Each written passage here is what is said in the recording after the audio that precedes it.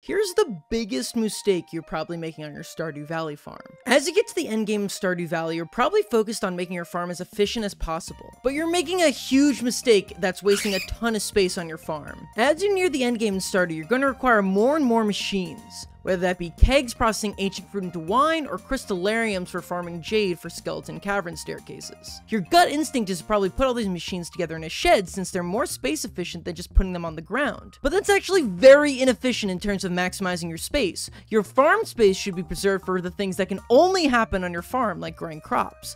Machines can be placed pretty much anywhere else in Stardew Valley. As long as they don't conflict with an NPC's path, you can place these processing machines just about anywhere. The area right behind your farm farm that connects the mountains is a no NPC routes, so you can fill the entire area with kegs. The bus stop, the beach, the train station, and Ginger Island are all prime spots to place your machines and save space on your farm for crops.